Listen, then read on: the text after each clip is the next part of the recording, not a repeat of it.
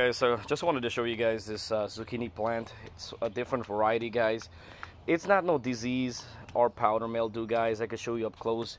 Powder mildew is like when you have like spotted powder or sprinkled powder all over. This you could see it's a pattern.